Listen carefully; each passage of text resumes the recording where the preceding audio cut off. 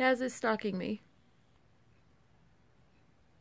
Apparently, when Daddy has some turkey, he always gives Taz turkey. I didn't know that. I just decided to have a little bit of turkey. I didn't know I was required to give some to Tasmanian. And now I am paying for it. Because Taz is whacking my phone. Don't do that. You do that every time. You think that's some cute thing that you'll get away with it. If I ever hit record, you just yawn and you know that'll make it cute and everything will go away. And then you do your little snore.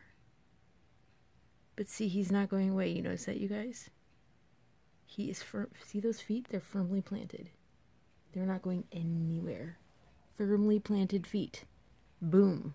Tiberius is being a good kitty over in the corner. No, there's no. There's no turkey here. I ate the turkey. I just ate a little bit of turkey. I didn't know I was supposed to give you some. I didn't know Daddy was that bad about giving you turkey every time. I know that now, however.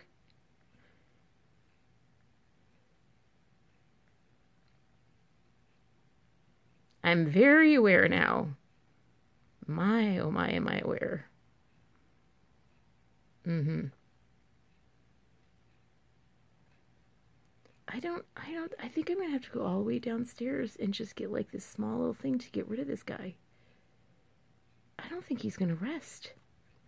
You look like a Lila when she gets onto something. Even with bright light in your eyes, you are not going anywhere. You're staring into the light. You have a problem with turkey. Ugh, all right, let's go. There's no turkey up here. I'm telling you. All right, let's go, buddy. I love you. You've got an issue.